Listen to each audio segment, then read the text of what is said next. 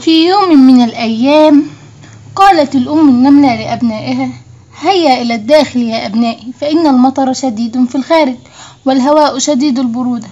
فصاح أحد الأولاد النكدة النكدة أكاد أغرق احذروا يا أبنائي حتى لا يجرفكم الماء وتشبثوا في الجدران بقوة.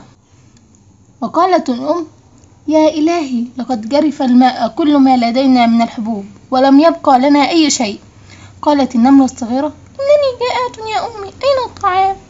وقالت أختها أيضا جائعة أريد طعاما فقالت الأم سأخرج وأبحث لكم عن طعام يا إلهي لا يمكنني العثور على أي طعام في هذا الجو سأعود إلى الجحر ثانية وعندما يهدأ المطر سوف أخرج من جديد للبحث إن شاء الله رجعت الأم وسألها أحد صغارها هل أحضرت الطعام يا أمي؟ أين الطعام يا أمي؟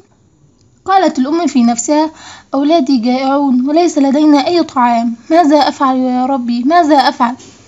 آه فكرة طيبة سأذهب إلى جارتنا فربما أجد لديها بعض الطعام لأولادي.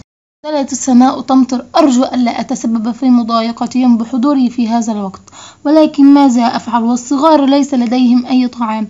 وتركت الباب على جارتها وكانت تكلم صغارها وتقول لهم هذه الحبوب سوف تكفينا لعدة أيام حتى يتوقف المطر وتشرق الشمس فتحت لها الجارة وسألتها هل أجد لديك بعض الحبوب يا جارتي العزيزة؟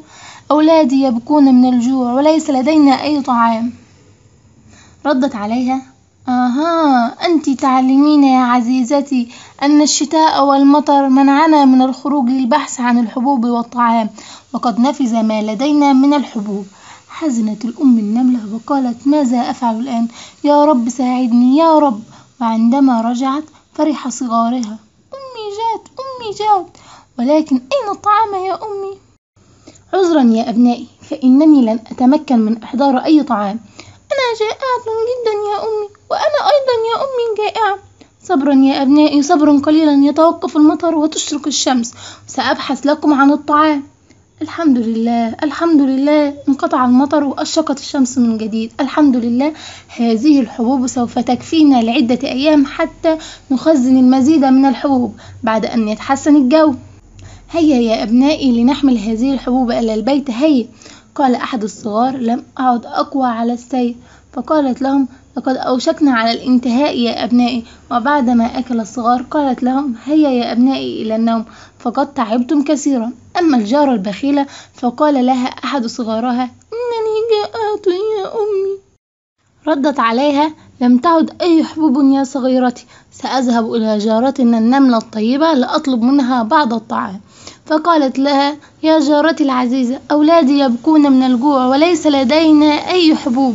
ردت النملة الكريمة الطيبة لا تحملي هما يا صديقتي سأتقاسم ما لدينا من الطعام بيننا وبينك وسأحمل أنا وأبنائي الحبوب إلى صغارك حالا. صعقت النملة البخيلة من فعل الجارة الطيبة وقالت لها في خجل شديد أشكركم أشكركم جميعا. فقد تعلمت منكم درسا في الكرم لن أنساه أبدا. وتوتة توتة وخلصت الحدوتة.